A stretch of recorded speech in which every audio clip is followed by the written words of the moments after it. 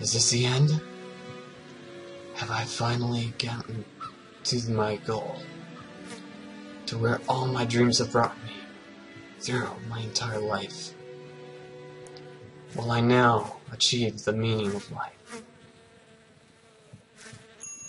To go where no fly has gone before. To achieve greatness never achieved before.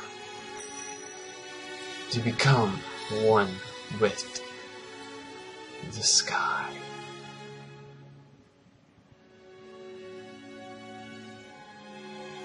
Or will I just become an insignificant dot?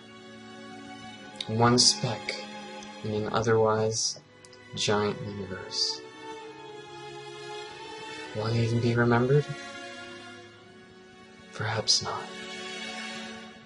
But in the end, what is it that really matters? Is it how great you become? Or is it what you do that brings you to the end?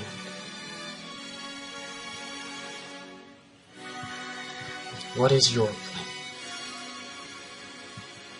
What will you do that achieves greatness?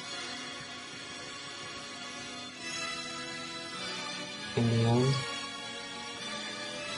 it's all you can do.